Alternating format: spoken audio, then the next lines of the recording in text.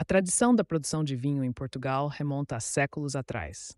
Este país, conhecido por suas belas paisagens e rica história, também é famoso por seus vinhos de alta qualidade.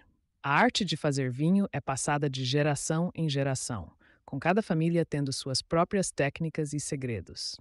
Os portugueses levam muito a sério a produção de vinho e cada etapa do processo é cuidadosamente realizada.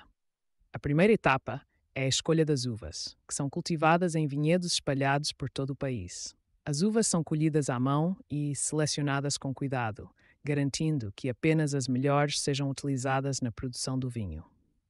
Em seguida, as uvas são esmagadas e o suco é fermentado em barris de carvalho. Este processo pode levar vários meses, e durante esse tempo, os produtores de vinho monitoram constantemente a qualidade e o sabor do vinho. Quando o vinho está pronto, ele é engarrafado e pode ser envelhecido por vários anos antes de ser vendido.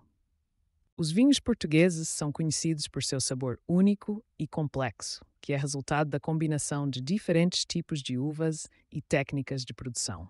Além disso, a produção de vinho em Portugal é fortemente influenciada pelo clima e pelo terroir, que contribuem para o sabor e a qualidade do vinho. Por isso, cada região de Portugal tem seus próprios vinhos característicos, como o famoso vinho do Porto do norte do país.